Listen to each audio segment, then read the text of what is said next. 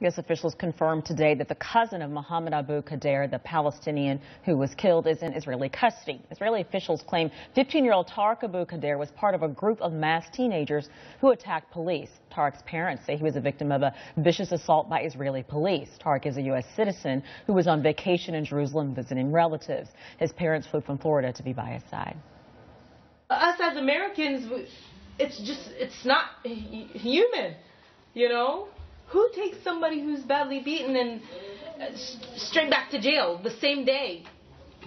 At least give him his right for, for medical attention for a couple of days. More details have been released about the conditions that led to the death of the Palestinian teen, as well as what's next for his detained cousin. Nasreen Al-Shamayleh reports from Jerusalem. The Palestinian Authority Attorney General said that the preliminary autopsy of Muhammad Abu Khdeir states that the remnants of a burned substance were present in his respiratory passages and his lungs, which indicates that he had inhaled that substance while being burned alive. Uh, they said also that 90% of his body uh, was uh, covered with burns varying between first to fourth degree burns and that he had sustained a head injury as well.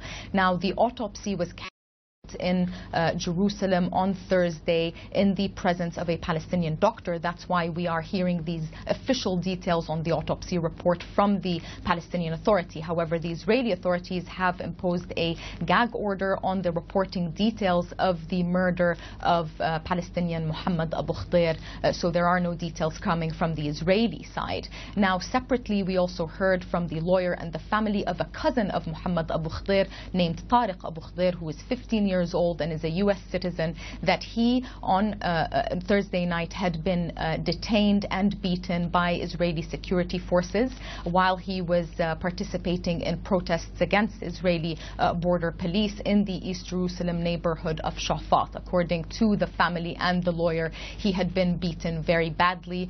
We saw pictures of him on social media, very brutally beaten with a very swollen face.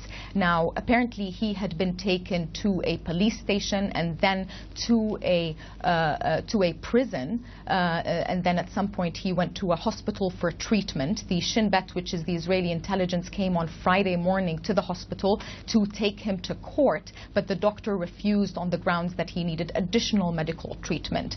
However, they did show up a few hours later, and the Israeli intelligence took him uh, despite the fact that the doctor uh, refused to discharge him. Now, Tariq Abu Khdeir is a U.S. citizen. Um, he will appear in court on Sunday at uh, 9 GMT noon local time, according to his lawyer, who said he's going to try to negotiate his release before the court hearing. But we also understood from the family that they talked to the U.S. Embassy and asked it to intervene, but they said until now no action had been taken. Israel says it is launching an investigation into the alleged assault by Israeli police, but authorities there are questioning the validity of the video. A spokesman for the Israeli police this. This is a video edited and biased that does not represent the events. During violent disturbances in East Jerusalem, hundreds of rioters, that is, many of them masked, hurled at the forces pipe bombs, Molotov cocktails, fireworks, and stones. As a result of severe violence, 15 police officers were injured. The White House is also weighing in, saying this, we are profoundly troubled by reports that he was severely beaten while in police custody and strongly condemn any excessive use of force. We are calling for a speedy, transparent, and credible investigation and full accountability for any excessive use of force.